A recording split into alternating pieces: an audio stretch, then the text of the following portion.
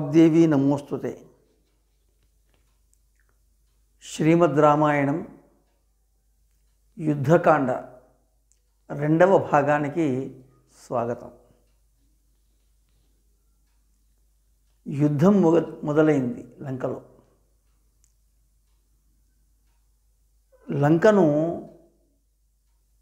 నాలుగు వైపుల నుంచి వానర సైన్యం ముట్టడించింది. రావణాసురుడు తన భవనం మీద నుంచి చూస్తున్నాడు ఈ పరిస్థితిని అంతా కూడా. చాలా తీవ్రంగా యుద్ధం సాగుతూ ఉంది. ఎట్లా కొట్టుకుంటున్నారంటే ఒక దశలో ఎవరు ఎవరో అడిగి మరీ కొట్టుకుంటున్నారంటే. నువ్వు వానరుడివా నువ్వు రాక్షసునివా అని అడిగి మరీ కొట్టుకుంటున్నారు చీకట్లో. చాలా సున్నితమైన హాస్యాన్ని అక్కడ ప్రవేశపెట్టాడు వాల్మీకి మహర్షి. చీకట్లో తెలియదు కదా ఎవరో అందుకు అడిగి మరీ కొట్టుకుంటున్నారన్నాడు. ఆంజనేయుని చేతిలో జంబుమాలి సుషేణుని చేతిలో విద్యున్మాలి చనిపోయారు. అంగదుడి చేతిలో ఇంద్రజిత్తు ఓడిపోయాడు. తట్టుకోలేకపోయాడు ఇంద్రజిత్తు. మాయా యుద్ధానికి తెరదీశాడు. నాగాస్త్రంతో రామలక్ష్మణులను మూర్చిపోయేటట్టుగా చేశాడు. వాళ్ళు అట్లా ఉండేసరికల్లా మరణించినారనుకున్నాడు. అనుకొని వెళ్ళి రావణుడికి చెప్పాడు. చెప్పేసరికల్లా రావణుడు మహా ఆనందపడ్డాడు. వెంటనే త్రిజట మొదలైన వాళ్ళని ఆదేశించినాడు. ఆ ఆదేశాన్ని పురస్కరించుకొని త్రిజట మొదలైన వాళ్ళు సీతమ్మ వారిని పుష్పక విమానంలో కూర్చోబెట్టుకొని ఆ యుద్ధభూమికి తీసుకెళ్ళారు.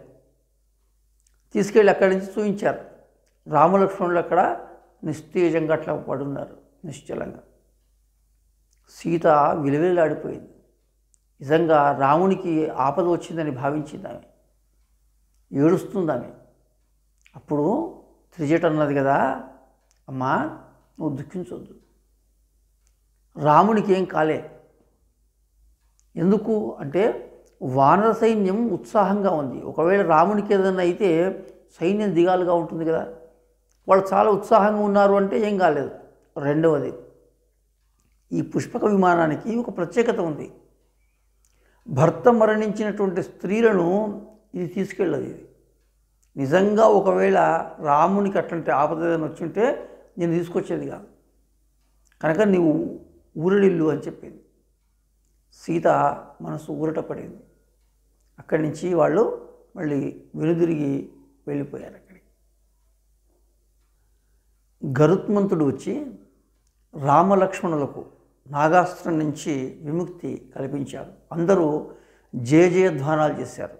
మళ్ళీ వారణ సైన్యంలో నూతన ఉత్సాహం వజ్రదంష్ట్రుడు అకంపనుడు మొదలైనటువంటి వాళ్ళంతా కూడా మరణించిన యుద్ధంలో.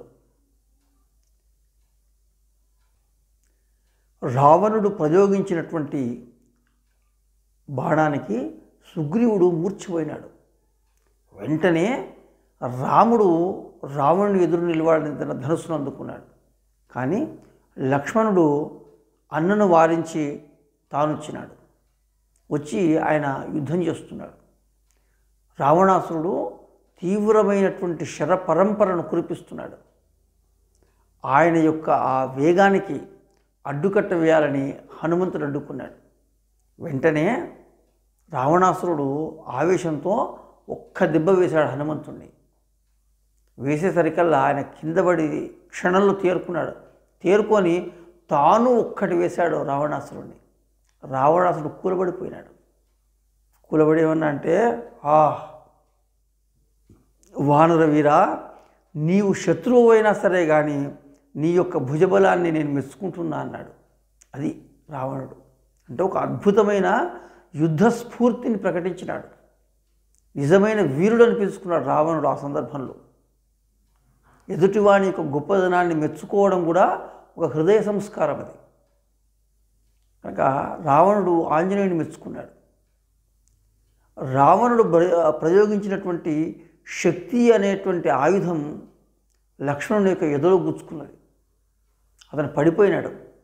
పడిపోయేసరికల్లా అతన్ని ఎత్తుకొని వెళ్ళాలని చెప్పేసి రావణాసురుడు ప్రయత్నం చేస్తున్నాడు. ఇంతలో ఆంజనేయుడు అక్కడికి వచ్చాడు. వచ్చి రావణుని ఒక్క దెబ్బ వేశాడు. రావణుడు కూలబడిపోయినాడు. లక్ష్మణుని అమాంతం అక్కడి నుంచి ఎత్తుకొని రావణుడి దగ్గర చేర్చిపోయాడు. మూర్ఛితుడైనటువంటి లక్ష్మణుడు చూసేసరికల్లా రామునికి చాలా కోపం వచ్చింది. ఆంజనేయుని యొక్క కోరిక మేరకు ఆంజనేయుని భుజాలపై కూర్చొని రావణాసునితో తలపడ్డాడు రాముడు. రావణాసుని యొక్క కిరీటం నేలనబడ్డది. ఆయన ధనుస్సు విరిగిపోయింది. దయదలిచ్చాడు రాఘవుడు. రావణ యుద్ధంలో చాలా అలసిపోయావు. ఇంటికి వెళ్ళు. విశ్రాంతి తీసుకో.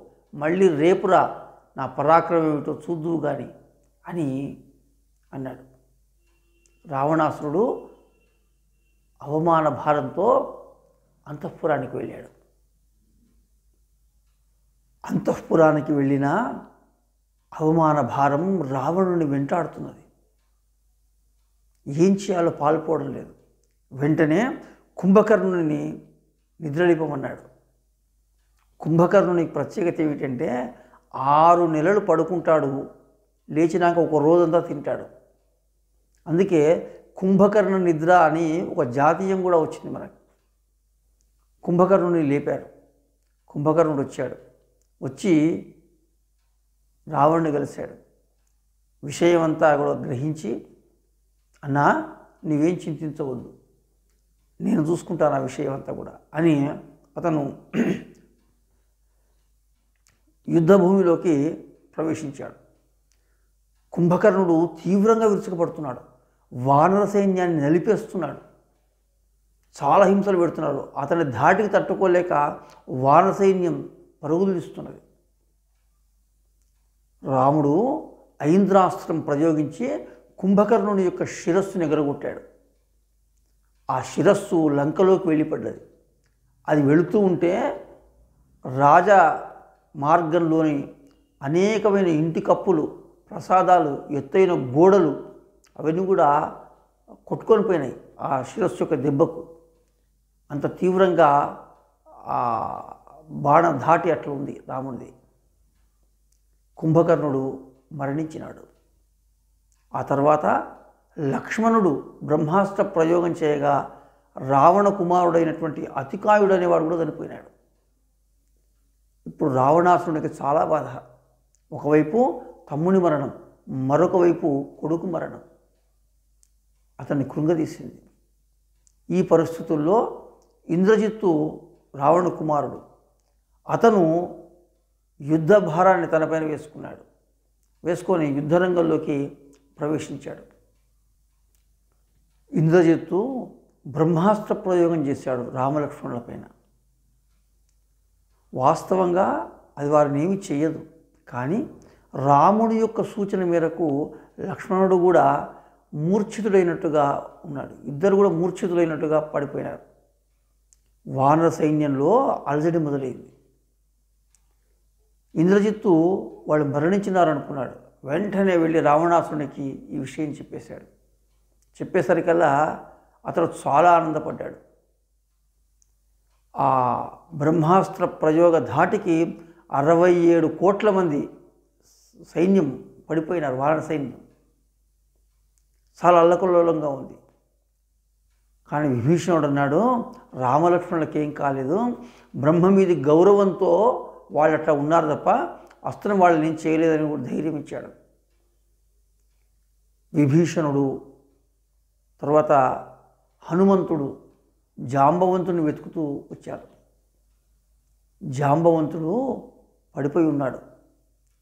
విభీషణుడితో అన్నాడు నాయన హనుమంతుడు క్షేమంగా ఉన్నాడా? అని అడిగాడు. విభీషణుడు ఆశ్చర్యపోయినాడు. ఇదేమిటి? ఇంతమంది ఉండగా హనుమంతుడు క్షేమంగా ఉన్నాడని అడగడం ఏమిటి? అనుకున్నాడు. అంటే అప్పుడు చెప్పాడు జాంబవంతుడు హనుమంతుడు ఒక్కడు క్షేమంగా ఉంటే అందరం మనం క్షేమంగా ఉన్నట్టే. హనుమంతుడు ఒక్కడికి ఆపద వస్తే మనందరికి ఆపద వచ్చినట్టే. అన్న తర్వాత జాంబవంతుని యొక్క ఆజ్ఞ మేరకు హనుమంతుడు హిమాలయ ప్రాంతానికి వెళ్ళి అక్కడ ఉన్నటువంటి సర్వౌషధి పర్వతాన్ని పెగిలించుకొని వచ్చాడు ఆయన. పెగిలించుకొని వచ్చేసరికల్లా ఆ ఓషధుల యొక్క గాలి తాకగానే రామలక్ష్మణులు లేచి కూర్చున్నారు. వాళ్ళ గాయాలన్నీ పోయినాయి. అరవై ఏడు కోట్ల మంది వానరులు మళ్ళీ లేచారు. పడిపోయిన వాళ్ళంతా కూడా. ఈ విధంగా అది ఒక సుఖాంతమైంది ఆ ఘట్టం. ఇంద్రజిత్తు మరొక పన్నాగం పన్నాడు. అతను మహామాయావి. హనుమదాదులు చూస్తూ ఉంటే మాయా సీతను తెచ్చి వాళ్ళ ముందరనే సంహరించాడు. వాళ్ళు నిజంగా సీతమ్మవారిని చంపేసినాడు అనుకున్నారు. వెళ్ళి రాముడికి చెప్పినాడు. రాముడు విలవిల్లాడినాడు. కానీ విభీషణుడు ఇదంతా మాయ. మీరు ఆందోళన చెందాల్సిన అవసరం లేదు అని రాముల వారిని మురటించినాడు ఇంద్రజిత్తు అందరితో ఆగలేదు. నికుంభిల అభిచార హోమానికి పూనుకున్నాడు. ఒకవేళ ఆ హోమం విజయవంతమైతే అర్థము అస్త్రశస్త్రాలు వచ్చినట్లయితే ఇంకా అతను ఎదిరించేవాడు అడ్డుకునేవాడు ఎవడు ఉంటాడు కానీ ఆ రామాజ్ఞ మేరకు లక్ష్మణుడు వెళ్ళి అతను నికుంభిల హోమాన్ని భగ్నం చేశాడు. భగ్నం చేసి లక్ష్మణుని చేతిలో ఇంద్రజిత్తు మరణించాడు. రావణుడు యుద్ధరంగంలో ప్రళయకాల రుద్రుడిలా విజృంభిస్తున్నాడు. అతని ధాటికి వానర సైన్యం చెల్లా చెదరవుతున్నది ఇంతలో రావణునికి విభీషణుడు ఎదురుపడ్డాడు. వెంటనే ఆవేశం కట్టలు దించుకుంది. బల్లెమెత్తి అతను చంపబోయాడు. వెంటనే అక్కడికి లక్ష్మణుడు వచ్చాడు. వచ్చి అతను అడ్డుకున్నాడు. అంతే.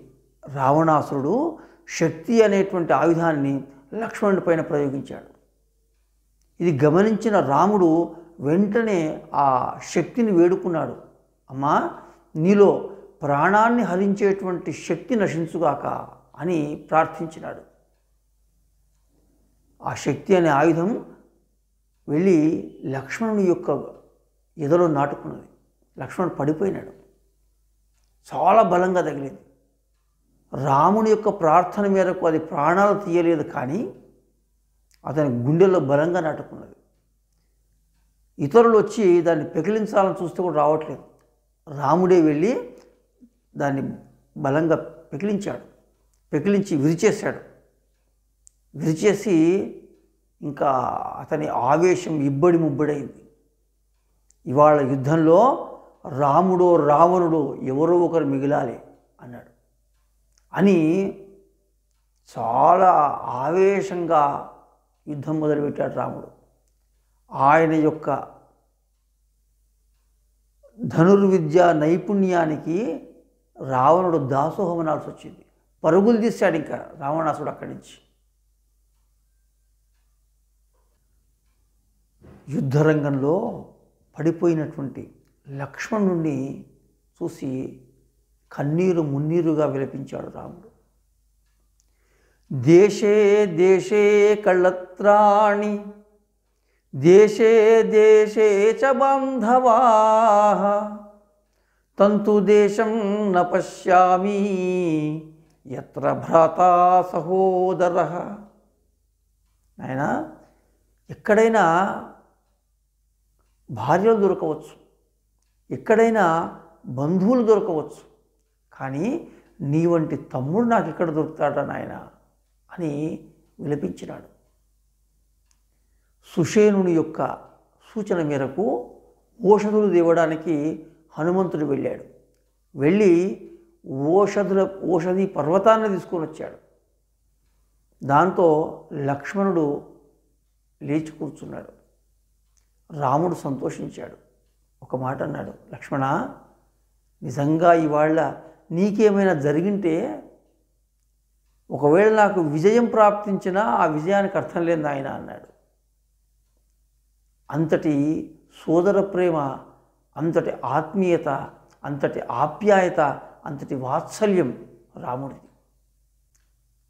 మరుసటి రోజు ఇంద్రుడు పంపితే మాతలి దివ్యరథం తీసుకొని రాముల వారి దగ్గరికి వచ్చాడు. రాగానే రాముల వారు సభక్తిగా ఆ రథానికి ప్రదక్షిణం చేసి దాన్ని అధిరోహించాడు. రథం యుద్ధరంగంలోకి వెళ్ళింది. యుద్ధం ప్రారంభమైంది. రామ రావణ యుద్ధం తీవ్రంగా నడుస్తూ ఉన్నది. చాలా తీవ్రంగా ఉంది. యుద్ధంలో రాను రాను రాముడిది పైచేయుతున్నది. రాముడి ధాటికి రావణుడు తట్టుకునే పరిస్థితి కనిపించడం లేదు. వెంటనే రావణ సారథి పరిస్థితిని గమనించి రథాన్ని యుద్ధరంగం నుంచి మలిపాడు. పక్కకు తీసుకెళ్ళాడు రావణుని రక్షించడానికి. కానీ రావణునికి చాలా కోపం వచ్చింది. ఆ విధంగా పారిపోవడం ఎందుకో ఆయనకు నచ్చలే. సారథి పైన నిప్పులు జరిగాడు. ఏమన్నా కానీ మలుపు రథాన్ని యుద్ధంలోకి అన్నాడు మళ్ళీ. మలిపాడు సారథి. ఇంతట్లో అగస్త్య మహర్షి వచ్చాడు. వచ్చి ఆయన రాముల వారికి ఆదిత్య హృదయాన్ని ఉపదేశించాడు. ఆ తర్వాత రామ రావణ యుద్ధం మళ్ళీ ప్రారంభమైంది. రాముడు అస్త్రాలు ప్రయోగిస్తున్నాడు. రావణుని యొక్క తలలు ఆయన దశకంఠుడు కదా తలలు నీళ్ళ రాలుతున్నాయి కానీ చిత్రంగా మళ్ళీ అతుక్కుంటున్నాయి. చాలా తీవ్రంగా పోరు సాగుతున్నది. ఎట్లా ఉంది రామరావణ యుద్ధం అంటే గగనం గగనాకారం సాగర సాగరోపమా రామ రావణయోర్యుద్ధం రామ రావణయోరివా ఆకాశానికి ఆకాశమే సాటి. సముద్రానికి సముద్రమే సాటి అన్నట్టుగా రామరావణ యుద్ధానికి రామరావణ యుద్ధమే సాటి అంటే ఒక అద్భుతమైన అనన్వయాలంకారాన్ని అక్కడ చెప్తాడు వాల్మీకి మహర్షి. అంత తీవ్రంగా పోరు సాగుతున్నది శ్రీరాముడు బ్రహ్మాస్త్ర ప్రయోగం చేశాడు. దాంతో రావణాసురుడు యుద్ధరంగంలో పడిపోయినాడు. మరణించినాడు. రావణ సంహారంతో రామావతార ప్రయోజనం పరిపూర్ణమైంది. రాక్షస సైన్యం అంతా కూడా కన్నీరు మున్నీరుగా విలపించినారు. విభీషణుడు వచ్చి రాముల వారిని అడిగినాడు మా అన్నగారి దహన సంస్కారాలు చేయడానికి అనుమతిని ఇవ్వండి అని అడిగినాడు. అప్పుడు రాముడు ఒక గొప్ప మాట అంటాడు. మరణాంతాని వైరాణి అంటాడు ఆయన. మనిషి మరణించే వరకే బతుకున్నప్పుడే వైరాలు వైరభావాలన్నీ కూడా చనిపోయిన తర్వాత ఇంకేం వైరం ఉంది? ఇప్పుడే వైరం లేదు నాకు. ఇంతవరకు ఉండేది రావణునితో నాకు. ఇప్పుడు రావణుడు మరణించినాడు. ఇంకా నాకు అతనితో వైరం లేదు. ఇప్పుడు రావణుడు నీకెంతో నాకు అంతే అంటాడు రాముడు. కనుక నీవు అంతిమ సంస్కారాలను కూడా చేయవలసింది అన్నాడు. ఆ అంతిమ సంస్కారాలను కూడా జరిగినాయి. తర్వాత విభీషణునికి లంకారాజుగా పట్టాభిషేక కార్యక్రమం కూడా జరిగింది. తర్వాత విజయవార్తను తెలుపవలసిందిగా హనుమంతునికి సూచించినాడు రాముడు. హనుమంతుడు సీతమ్మ వారి దగ్గరికి వెళ్ళి ఈ విషయాలను కూడా చెప్పాడు. ఆమె చాలా ఆనందపడ్డది. అక్కడ ఆమె చుట్టూ రాక్షస స్త్రీలు ఉన్నారు. హనుమంతుడు వాళ్ళని చూశాడు గతంలో కూడా చూశాడు వాళ్ళు పెట్టే ఇబ్బందులను చూశాడు. వాళ్ళు ఈమెను మానసికంగా ఎంత క్షోభకు గురి చేశాడో ప్రత్యక్షంగా చూశాడు హనుమంతుడు. అందుకు వాళ్ళని చూసేసరికల్లా ఆయనకు మళ్ళీ కోపం వచ్చింది. వచ్చి అమ్మా మీరు కొద్దిగా అనుమతిస్తే వీళ్ళందరినీ చంపేస్తానడు ఆయన. సీతమ్మన్నది ఎవరిని ఏం చేయొద్దన్నది ఆమె. కారుణ్యమూర్తి ఆమె. అంటే తనను ఇంత ఇబ్బంది పెట్టినా వాళ్ళని క్షమించేటువంటి మహోన్నత హృదయ సంస్కారం కలిగినటువంటి స్త్రీమూర్తి సీతమ్మ. సీతమ్మ వారిని పల్లకిలో తీసుకొచ్చారు. తీసుకొచ్చి రాముల వారి దగ్గర దింపారు. రాముడు అన్నాడు నా యొక్క భర్తగా నా ధర్మాన్ని నిర్వర్తించాను. రావణాసుని సంహరించాను. చరణులకు విడిపించాను. ఇప్పుడు నీ ఇష్టం. ఇన్ని రోజులు ఇక్కడ ఉన్నావు కదా ఇప్పుడు నీ స్వేచ్ఛ నువ్వు ఎక్కడికన్నా వెళ్ళవచ్చు. నేను నిన్ను స్వీకరించను అన్నాడు ఆయన. అనేసరికల్లా సీతమ్మ కొంత నిష్ఠురంగా మాట్లాడింది. చివరికి ఆమె అగ్నిప్రవేశం చేయడానికి నిర్ణయించుకున్నది. అమ్మవారి మనస్సును తెలుసుకున్నటువంటి లక్ష్మణుడు వెంటనే ఆ ఏర్పాటు చేశాడు. సీత అగ్నిప్రవేశం చేసింది. చేసేసరికల్లా అగ్నిదేవుడు ఆమెను తీసుకొని మళ్ళీ పైకి వచ్చాడు వచ్చి ఆమె యొక్క సౌశీల్యాన్ని వేణుళ్ళ పొగిడాడు. రామా ఈమె పతివ్రతామూర్తి పవిత్రమూర్తి ఈమెను స్వీకరించాలి అని చెప్పాడు. అంటే అప్పుడు రాముడు అన్నాడు సీత యొక్క సౌశీల్యం ఏమిటో నాకు తెలుసు కానీ లోకానికి చెప్పడం కోసం మాత్రమే అలా అన్నాను అన్నాడు శ్రీరాముడు.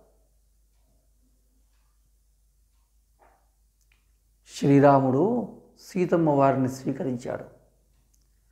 పరమశివుడు అక్కడికి విచ్చేసి రాముణ్ణి ప్రస్తుతించాడు. ఇంద్రుడు వచ్చాడు. రాముని యొక్క కోరిక మేరకు ఆ యుద్ధంలో మరణించినటువంటి వానరులందరినీ బ్రతికించాడు. ఆ తర్వాత అయోధ్యకు ప్రయాణమయ్యారు. సీతారామ లక్ష్మణులు విభీషణుడు ప్రార్థించాడు కొంతకాలం లంకలో ఉండమని. కానీ భరతుడు తన కోసం ఎదురు చూస్తున్నాడు కనుక తాను వెంటనే వెళ్ళాల్సిందని రాముడు అక్కడి నుంచి ప్రయాణమయ్యాడు. పుష్పక విమానంలో బయలుదేరారు. అయితే తాము వస్తున్నటువంటి వార్తను గుహునికి భరతునికి ముందుగానే చేరవేయవలసిందిగా హనుమంతుణ్ణి ఆజ్ఞాపించాడు రాముడు. హనుమంతుడు వెళ్ళి గుహునికి భరతునికి ఈ విషయం చెప్పాడు. పుష్పక విమానంలో బయలుదేరారు వీళ్ళంతా కూడా. సీతకు ఆయా ప్రదేశాలన్నీ చూపిస్తున్నాడు రాముడు. చూపిస్తూ చక్కగా వాళ్ళు నందిగ్రామం చేరుకున్నారు. నందిగ్రామం చేరుకోగానే అక్కడ అందరూ కూడా వచ్చి ఉన్నారు. సీతారాముల యొక్క రాక కోసం ఎదురు చూస్తున్నారు. ఆ యొక్క పుష్పక విమానం దిగగానే వెళ్ళి పెద్దలకందరికీ నమస్కారం చేశారు వీళ్ళు. భరతుడు అన్నకు నమస్కారం చేశాడు. పాదుకలు తెచ్చి ముందర పెట్టాడు. రాముని యొక్క కాళ్ళకు పాదుకలు తొడిగాడు. తొడిగి తాను ధన్యుణ్ణైనట్టుగా పరమానంద భరతుడైనాడు భరతుడు.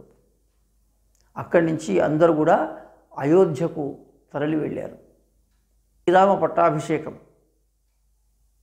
శ్రీరామ పట్టాభిషేకం. అంగరంగ వైభవంగా జరిగింది. కన్నుల పండుగగా జరిగింది. ప్రతి హృదయం పులకించింది. శ్రీరాముడు లక్ష్మణుడిని యువరాజుగా ఉండమన్నాడు. కానీ లక్ష్మణుడు అంగీకరించలేదు భరతుణ్ణి యువరాజును చేశారు. రాముని యొక్క రాజ్యపాలనలో యజ్ఞయాగాది క్రతువులు నిర్విఘ్నంగా కొనసాగుతున్నాయి. సుభిక్షంగా ఉంది ఆ దేశమంతా కూడా. ప్రజలంతా ధర్మాచరణ ఎందు ఆసక్తి కలిగిన వాళ్ళై ఉన్నారు.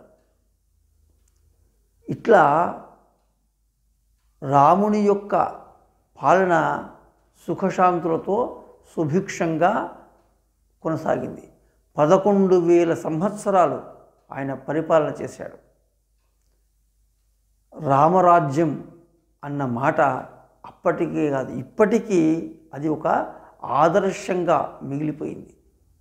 ఈ విధంగా రామాయణ గాథ నిత్యనూతనమై ఆదర్శమై స్ఫూర్తివంతమై ఈ జాతికి నవ్య పథాన్ని దివ్య సందేశాన్ని అందిస్తూనే ఉంది అందిస్తూనే ఉంటుంది. మానవుడు ఉన్నంతకాలం రామాయణం ఉంటుంది. మానవుని యొక్క మనుగడను సంస్కరిస్తూనే ఉంటుంది. అటువంటి ఒక మహిమాన్వితమైన ఆదర్శవంతమైన అత్యున్నతమైన సంస్కారాలను ఇచ్చేదైనటువంటి రామాయణ కథ రామాయణ గాథ దాన్ని ఇతిహాసము అన్నారు. దాన్ని అందించినటువంటి వాల్మీకి మహర్షి యొక్క భవ్యాత్మకు నమస్కరిస్తూ ఈ రామాయణాన్ని ఇక్కడితో ముగిస్తున్నాను. మంగళం కోసలేంద్రాయ మహనీయ గుణాత్మనే చక్రవర్తి తనూజాయ సార్వభౌమాయ మంగళం. ఓం స్వస్తి. రాముడు నడిచిన మార్గం రామాయణం. వ్యక్తే కాదు కుటుంబం సమాజం. దేశం ఒక ఉన్నత స్థాయికి చేరుకోవడానికి రామాయణం మార్గనిర్దేశం చేస్తుంది. అందుకే రామాయణం నిత్యపారాయణమైంది. భారతీయ సంస్కృతికి మూలస్తంభాలుగా రామాయణ భారత భాగవత గ్రంథాలు ఉన్నాయి. రామాయణం ఆదర్శవంతమైన జీవితానికి భారతం మన నిత్యం చూస్తున్న అనుభవిస్తున్న నిజ జీవితానికి భాగవతం దివ్యమైన జీవితం గడపడానికి మార్గదర్శకాలుగా పెద్దలు పరిగణిస్తారు. ఈ మూడింటిలో రామాయణం ద్వారా జీవితంలో మనకు సమస్యలు ఎదురైనప్పుడు అలాంటి సందర్భంలో రాముడు ఎలా నడిచాడో తెలుసుకొని వాటిని అనుసరిస్తూ ఆ సమస్యలను అధిగమించవచ్చు. రామాయణం ఉత్తమ సంస్కారాన్ని అలవాటు చేస్తుంది. సంస్కారం ప్రతి ఒక్కరిలోనూ ఉండాలి. వ్యక్తితో మొదలైన సంస్కారం కుటుంబంలో సమాజంలో వికసించాలి. దానివల్ల దేశం ప్రపంచం చక్కబడతాయి. ఈనాడు మనం చూస్తున్న కులాలు మతాలు ప్రాంతాలు అనే అసహజ భావనలు భావనలు వాటంతట అవే సమసిపోతాయి. వసుదైక కుటుంబం అనే వేదవాక్కుకు సార్థకత ఏర్పడుతుంది. మనల్ని మనమే కాదు సమాజాన్ని తద్వారా మానవులందరినీ రక్షించుకోవడానికి తోడ్పడుతుంది.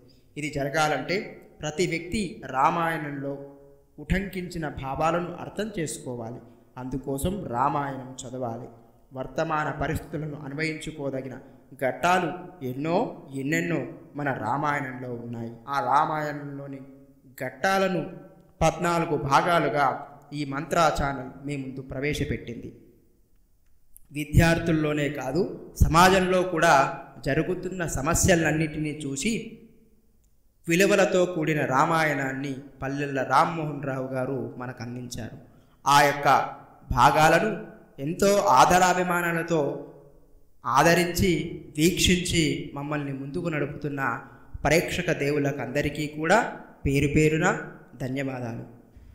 మంత్ర ఒక విలక్షణమైన యూట్యూబ్ ఛానల్.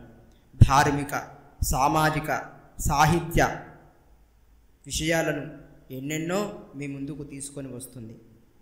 ఈ ఛానల్ని ఇదే విధంగా ముందుకు నడుపుతూ ప్రోత్సహిస్తూ మమ్మల్ని ఇంకెన్నో వీడియోలను చిత్రీకరించడానికి తోడ్పడతాయని చెప్పి భావిస్తూ మా ఛానల్ని ఇంకా ఎవరైనా సబ్స్క్రైబ్ చేసుకొని వాళ్ళు సబ్స్క్రైబ్ చేసుకోండి లైక్ చేయండి షేర్ చేయండి మమ్మల్ని ముందుకు నడపండి. ఇంతకాలం మమ్మల్ని వెన్నంటి ప్రోత్సహించి నడిపించిన స్వరలహరి కల్చరల్ అకాడమీకి మా ప్రత్యేక ధన్యవాదాలు. మీ మంత్ర యూట్యూబ్ ఛానల్.